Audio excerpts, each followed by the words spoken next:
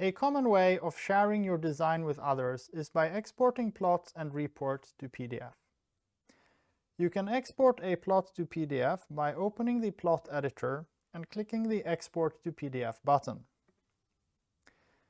Here you can also specify the DPI or resolution of the exported plot. Click the Export button, specify a file name and capture exports the PDF to your selected location. The PDF is now ready for viewing, sending to somebody or printing. Similarly, you can do the same with the report. Simply open the report editor, click the Export to PDF button, give a file name and press Save.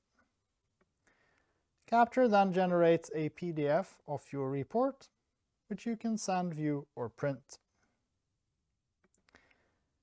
If you have many reports and plots, it may be more convenient to print them all together into a single PDF. This can be done from the File menu by using the Export Documentation command. Here you can select the reports and plots that you want to include. So I'm going to add the equipment report as well as two plots. You can drag the reports or plots in this view to reorder if required, as well as remove and add more reports and plots. When you're ready, click the Export button, give a file name, and press Save.